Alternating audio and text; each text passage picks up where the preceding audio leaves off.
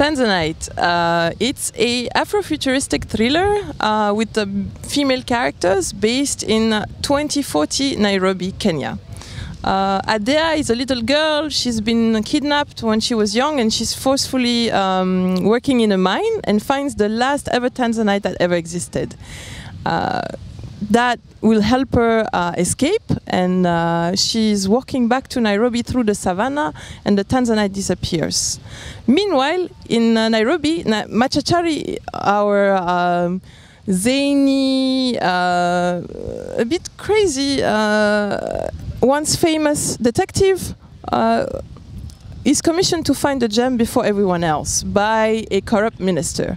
She understands that it's very important uh, for her to find it before all the other militias and factions uh, get to it for the wrong reasons. So she sets on a quest, and meanwhile, she will find um, Adea and the little girl, and both together they will find a purpose for their own lives and. Uh, in a final battle where they're able to retrieve the Tanzanite, they will make the great choice. They will bring back the Tanzanite to where it belongs, under the Kilimanjaro mountain.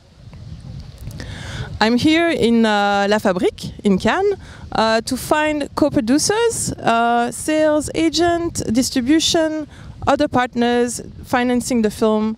And at the moment, I'm uh, working at the second draft of the film.